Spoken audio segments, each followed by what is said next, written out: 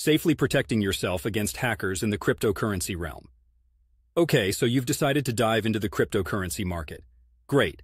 But remember, with great power comes great responsibility. And by power, I mean the supercomputer in your pocket kind of power that can manage your digital currency investments. But here's the kicker. As soon as you step into this online financial Wild West, you become a target for the digital age bandits, hackers. Cryptocurrency Basics First off, understanding the basics of cryptocurrency security is like knowing to wash your hands before eating. It's Hygiene 101. Cryptocurrencies are built on blockchain technology, and while it's inherently secure, the environment around it isn't always. We're talking about wallets, exchanges, and personal security practices. These can be the Achilles heel in your investment strategy. Cold wallets, your crypto Fort Knox. Hot wallets are on devices connected to the internet, which is kind of like leaving the keys in your car while it's running. You're practically inviting trouble. Cold wallets, on the other hand, are not connected to the internet. They are physical hardware wallets that can be as small as a USB stick, but as secure as Fort Knox. Think of it as the digital equivalent of a safe deposit box.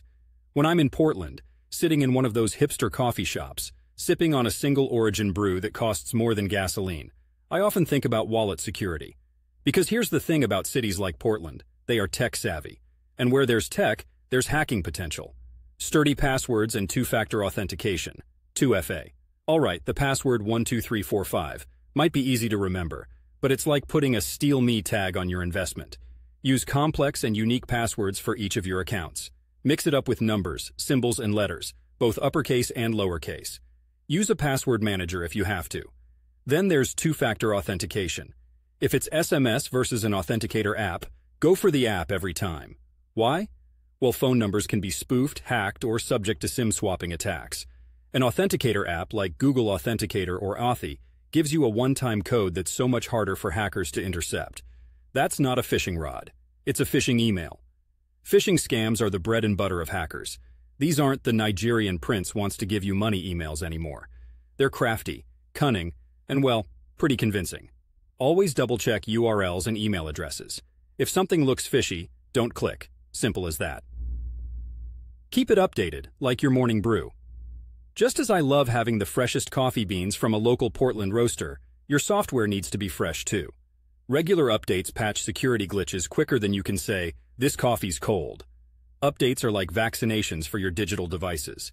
They're essential for a healthy system. Public Wi-Fi is a no-go zone.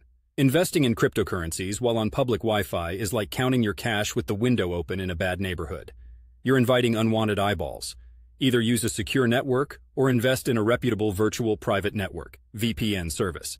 The latter encrypts your data, shrouding your online activity in mystery. Stay informed. Knowledge is power, and in the crypto space, staying informed is your radar for incoming threats. Follow legitimate sources and thought leaders who know what they're talking about. This isn't paranoia. It's about staying one step ahead. So, to wrap this up, practice good security hygiene. Use a cold wallet, create ironclad passwords, Authenticate, watch out for phishing, keep your systems updated, avoid public Wi-Fi, and stay informed. The world of cryptocurrency is exciting, but it's also the wild west of finance. Stay safe out there.